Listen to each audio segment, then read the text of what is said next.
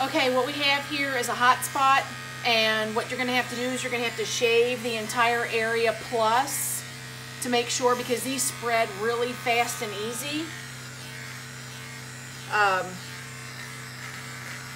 so you're gonna have to shave all this hair off of it.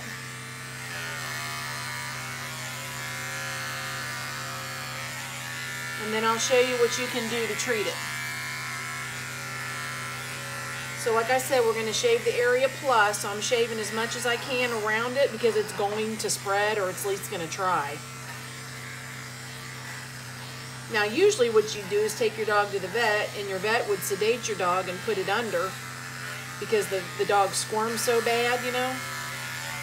And so that's a huge bill after so many years, you learn to suck it up and do it yourself.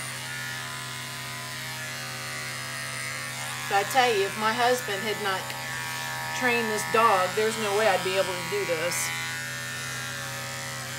It's important that you train your dogs early on. Stuff like this happens. That sure comes in handy.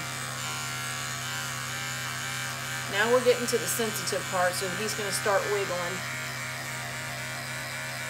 But the most important thing is to keep this as dry as possible. Now, hot spots are always going to come up when you've had a lot of rain in the last, what, four days?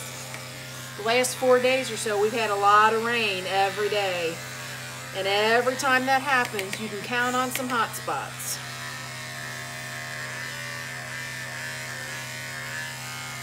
They're ooey and gooey and gross and not fun for the doggy. You can imagine how this feels for this poor guy.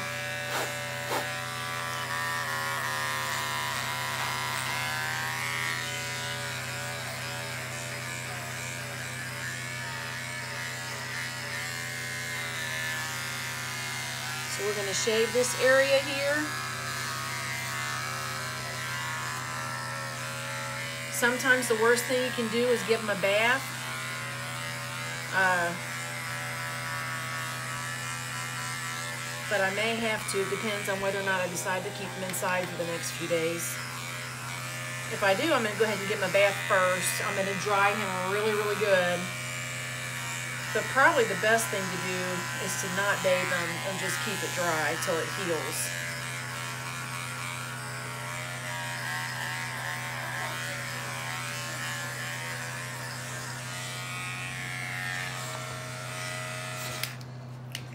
Good job, Ken DeWinda. Okay, so we got the area shaved. So I'm gonna grab my puffer. Do you know what it is, the puffer over there? Or my medical bag, the black medical bag on the bench? I should have got this together first. I'm gonna grab my puffer. And you can buy these for like eight bucks at your local feed store. Uh, you can snapshot a picture of what I'm gonna show you and you can ask them if they carry it right here. Can you see that? Stop moving the phone. Okay, it's about seven or eight bucks. And the reason I call it a puffer is because it's got a special lid, you see here? And you squeeze it, and when you squeeze it, it puffs out this medicated powder. And you want to put that right on here. I know, baby. I know. Shh, shh, shh, shh, shh. This is starting to get uncomfortable for you, huh? I know. I know it. You want to get this area as dry as possible, and this is the only way that we're going to pull this off. I know, baby.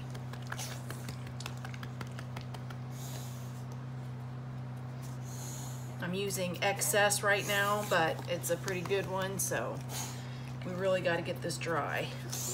I know, honey. I know. Take a breath. Take a breath. I know.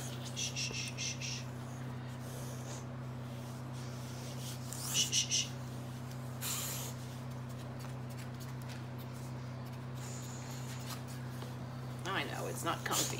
I know it. Shh, shh, shh. Stop.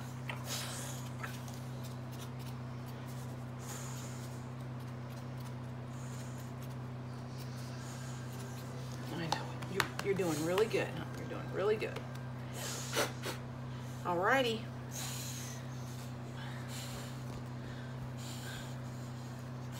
And that's how we're gonna treat a hot spot. Thanks.